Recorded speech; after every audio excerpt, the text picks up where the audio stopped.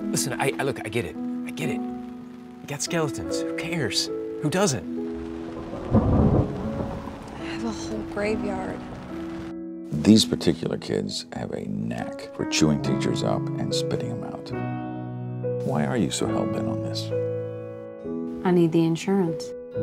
Nothing could have prepared me for this. I swear I was under attack the minute I walked through the door. You're telling me there's not a thing you can do to capture their imaginations? No, they don't have imaginations. Come on, Pam, they gotta like something. We live in the British Bullion Belt, also known as treasure hunter's paradise. Treasure hunting is a legitimate pursuit. How stupid do you think we are?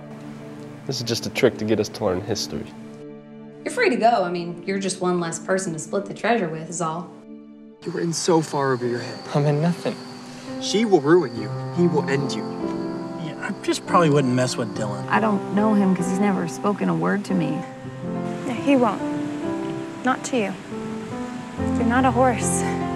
She claims to be Pam Hoog, but her previous employer has no record of anyone by that name. The kids are retaining, they're learning, they're participating. I mean, who even is this person, you know? Well, unfortunately, she happens to be the sister of the president of the school board. I can't go in there. Are you kidding me? You? There's no giant you can't slay. I just want to say that I love these kids.